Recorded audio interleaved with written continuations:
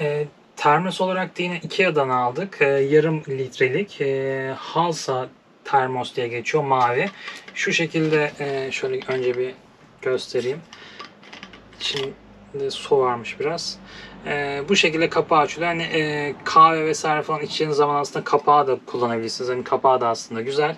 E, şuradan bastırdığınız zaman da şey açılıyor. Hani güzel bir ürün. Bunun bir de e, aynısının şu renk tonunda var. Hani beige tonunda var. E, biz hani şey aldık. Hani mavi renkli e, olanını aldık. Hani güzel bir ürün. E, özellikle mesela karavanda çünkü çok fazla tüpü kul- kullanamayacağımız için e, ya da hani e, soğuduğu zaman hani soğumanın önüne geçmek amacıyla hani e, zaten her karavanda olmazsa olmaz bir şey. E, bize zaten e, bir tane de büyük var hani bir buçukluk var.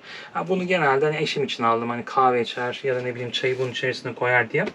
E, bunu ne kadar almışız? 199 TL'ye almışız. Ee, söylediğim gibi hani bir mavi rengi var bir de bej rengi var. Hani gayet uygun çünkü piyasada diğer e, termosları araştırdığınızda hani çok böyle uçuk e, ücretler de çıkabiliyor. Bence hiç hani gerek yok. Hani gayet güzel bir ürün. Hani şık, şık da duruyor. Ee, hani Halsa e, termos mavi diye geçiyor. Ee, bu da hani güzel bir ürün.